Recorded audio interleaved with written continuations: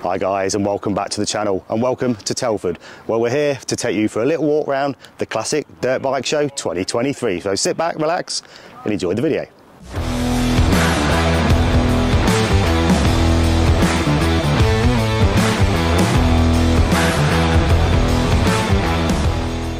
So in this area over here behind me we've got some prize winning bikes so let's go check them out.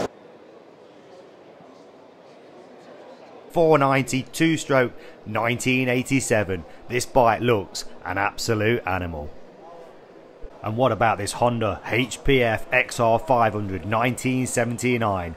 The HPF stands for Horsepower Factory. This one looks like it's just come out of the factory. What a beautiful looking bike.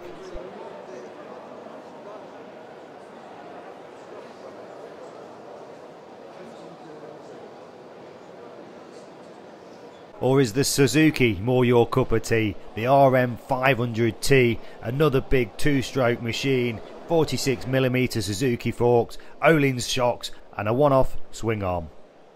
This bike was purchased from a speedway racer who started his career back in the 70s called George Howard Cole. The bike was started once but never ridden by the owner and then has been stored away in a shed for the last 50 years.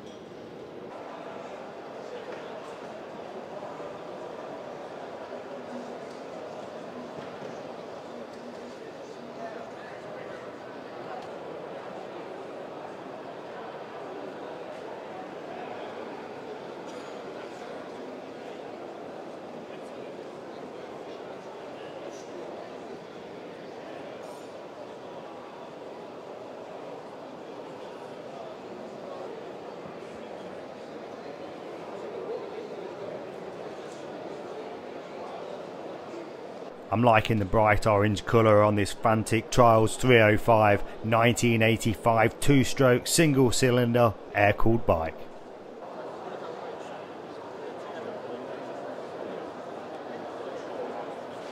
The Husqvarna 360cc Viking 1967. This bike has matching frame numbers and engine numbers and was rebuilt from a box of bits by Peter Saunders. What a fantastic job you've done.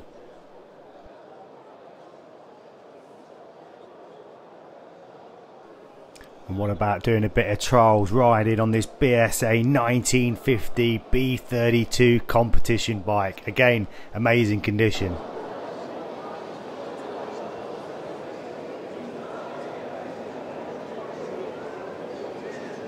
So this bike won a rosette for best motocross. This is the CCM 1980 JHR Rotax 600cc.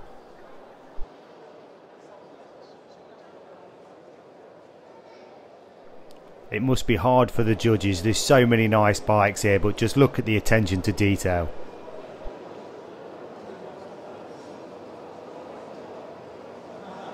It's always nice to see the before and after pictures of this Rickman.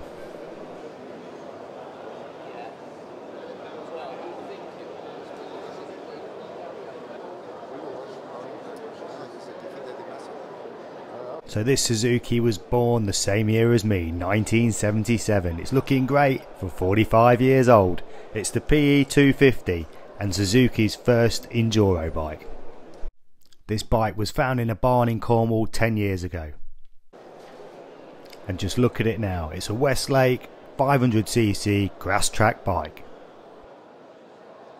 Check out this winning bike. So Steve Ramon signed up for Champ KTM, went on to win the World 125 Championships in 2003 after only signing up for them in 2002.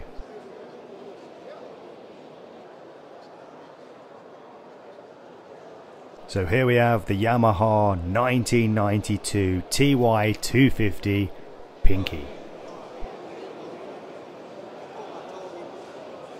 It's BSA all the way. This bike wins the 1965 British Expert Trials.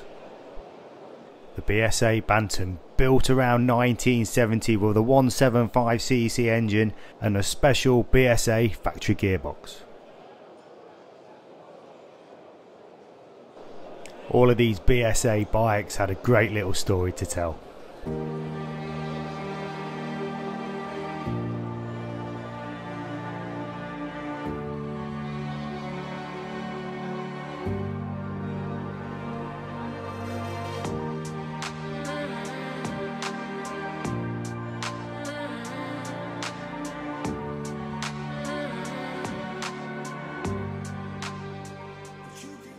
So I was hoping to see here today one of the first bikes I ever rode as a teenage kid. We've got the TY 250 here. Um, I started off in a TY 175, 1980 I think it was. I'd have only been 14 years of age, riding around the fields, um, always getting told off on that bike. Uh, it's nice to see these bikes, brings back a few memories. So let me know what you started on, guys. If there's a bike here that uh, brings back a few memories, pop it in the comments below. I've been to a few classic bike shows now, and one thing you do find, there's quite a few bikes up for sale.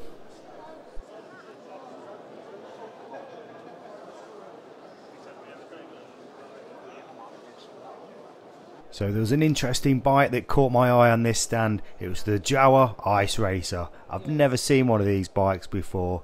Made in the Czechoslovakia, the engine of the 893 1978. The displacement was 993cc. Single overhead cam with two-speed transmission. It's got a 23 inch front wheel with 100 hardened steel spikes, a 21 inch rear wheel with 150 spikes, that should give you some traction.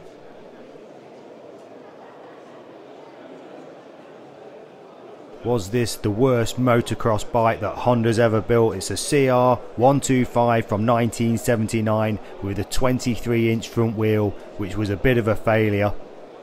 Maybe that makes it more desirable for collectors. So this is the 125 Cup stand. All these bikes are twin shocked and air cooled.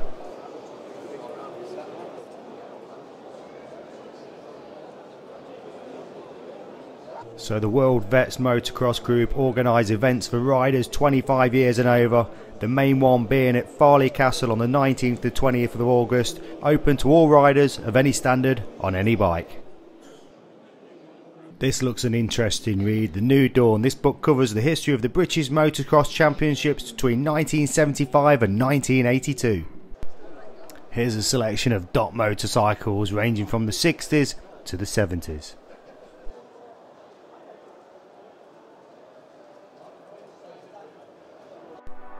So what do you think of these Rickmans? I must admit they are absolutely stunning bike. Apparently one of these lives in the owner's lounge and I'm not surprised.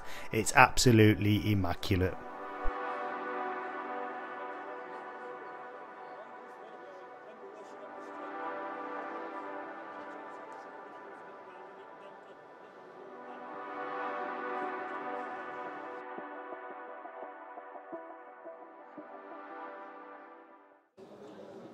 This room was just full of CCMs. Here's another special bike. It's the CCM 1979 125cc two-stroke standard production bike. This bike is totally original. It's unrestored and unridden from the day it left the factory.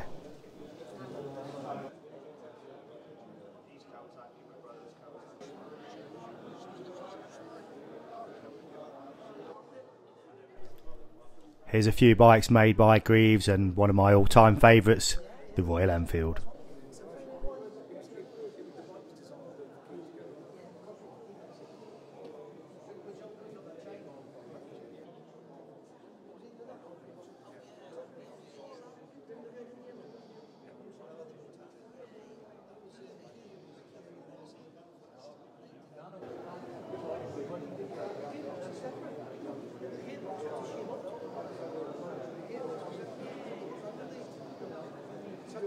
So if you've not been to this classic dirt bike show before at Telford, you need to go check it out. It's a weekend event that's divided into these three halls. There's people there that's not just selling bikes, but they're selling parts, they're selling the tools, and they've also got the knowledge. So I hope you've liked our little walk round at the Classic Dirt Bike Show at Telford 2023. We've had a fantastic time. Uh, if you've not subscribed to the channel, then please do so. Give us a like, and we'll see you in the next one.